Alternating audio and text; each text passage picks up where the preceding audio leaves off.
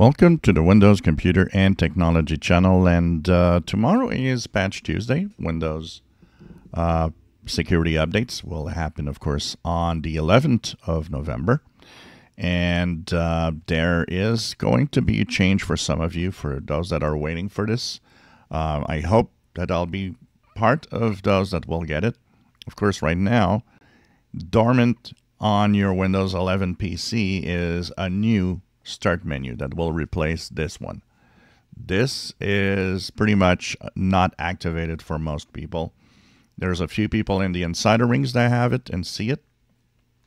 There could be a few people in the standard uh, Windows versions that have it. You can, of course, use some tools that are available to activate it and make it, uh, you know, happen right now. But Microsoft did say that starting with Patch Tuesday of this month, this new start menu will be rolling out. So the uh, apps and all the apps and everything is going to be shown in a very different way. You'll see all the apps um, in visual on the start menu. It's going to be different. Um, I hope to have that happen. If I do, I will, of course, be uh, talking about it and showing the different options to uh, tweak it and uh, how to customize it. Um, but Microsoft does say that it will take several weeks for everybody to get the new start menu. So this is starting to happen tomorrow, November 11th.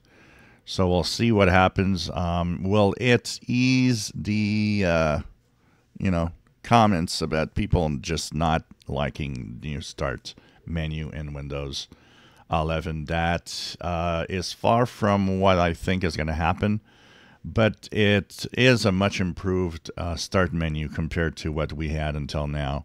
So I'll see um, if people like it or not, but uh, at least they're working on that and trying to make it better. So uh, hopefully, um, hopefully I will get it, and uh, hopefully uh, some of you will get it uh, starting tomorrow, Patch Tuesday. Uh, and also, tomorrow, Patch Tuesday, will be the first out of cycle or the extended uh, security update uh, for Windows 10. So, tomorrow is going to be that uh, test for that new Windows 10 update that will happen, of course, um, with the extended updates for a year that Microsoft has offered. If you enjoy my videos, please subscribe, give us thumbs up. Thank you for watching.